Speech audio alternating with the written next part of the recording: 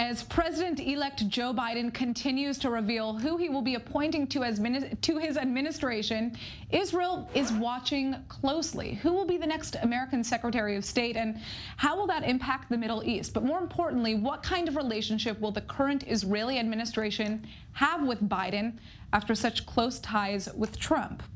Well, joining us to break this down and more is former Israeli Justice Minister Dr. Yossi Beilin, who was also the lead negotiator of the Oslo Accords. So let's begin with the first big question here, Yossi. Is a Biden presidency positive for the state of Israel? It depends on who, whom you are, are you talking to. Right. I mean, for the right, it's bad news. They had a president uh, who did whatever the evangelists in the United States wanted and uh, for this time in history, it was uh, very close to what uh, Netanyahu wanted or the, the right in Israel uh, wanted. It is not that he was close to Israel or something like that. Uh, he was more than anything uh, else an ignorant. He began by saying, if you remember, one state, two states, you decide all these things. Israel will pay for all the, the weapons we give it, and, and so on and so forth. And then he said other things. Biden, uh, whom I've known for the last uh, 28 uh, years, is knowledgeable about the, the conflict, knows the people who were negotiating, knows the right and the left, know the, knows the main problems and he is a a real supporter of Israel. He told me once when we met, for me, Israel, the love for Israel begins in my stomach, it goes to my heart, and eventually ends in my head.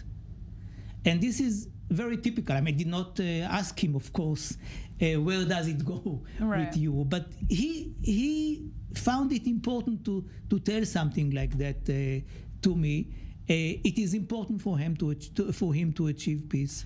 It, and and I believe that the main problem is how high is it on his agenda. Right, right and now. that's actually what I wanted to ask you. I mean, Trump clearly, by the end of his presidency, at least made Israel one of his top priorities.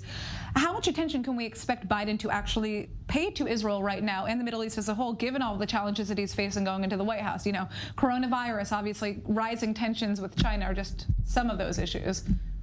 In his team, people are telling him uh, Mr. President elect, forget it. I mean, don't even think about entering this uh, swamp. It is endless. Your president, your, your predecessors uh, all failed. And and it will it will not be a, a winning option for you. It doesn't mean necessarily. I mean, this is for sure. I mean, this is happening right now as we talk. Now, I believe that there will be others who might tell him that there is an opportunity, if there is an opportunity.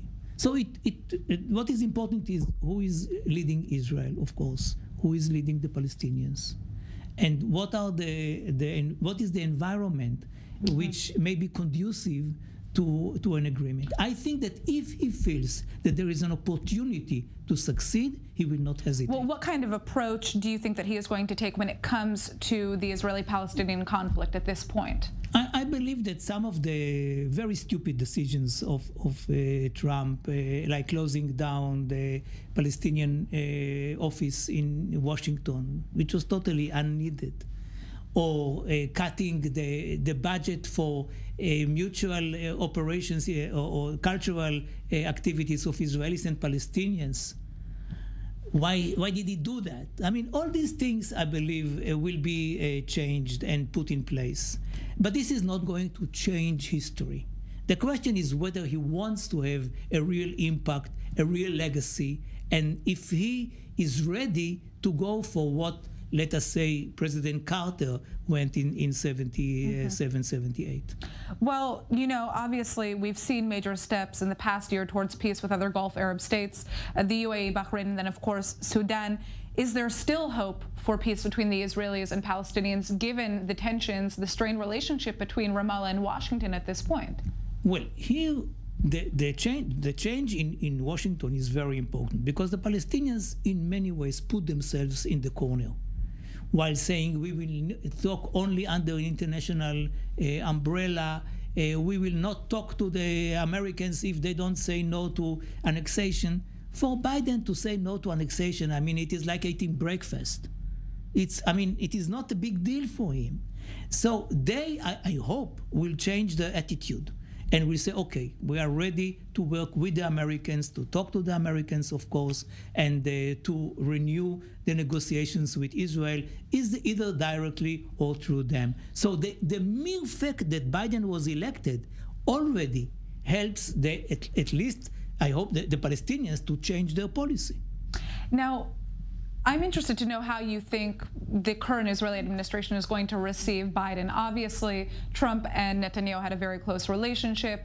Netanyahu wasn't necessarily the biggest fan of Obama, and many from the right view Biden as, you know, the next Obama.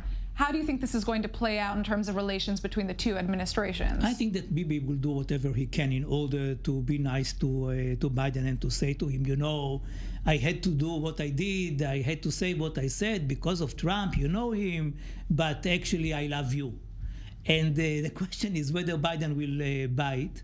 Or, uh, and, and what would be the attitude of Biden towards uh, Netanyahu? Knowing Biden, Biden, I, I know that he is not vindicative and, and will not search for, for areas in which he can uh, somehow uh, uh, vindicate and take revenge right. or whatever against uh, Netanyahu, but this will not be the same kind of relation. So, quick answer on this before we have to go out for a break. President Trump is nearing his end in office here.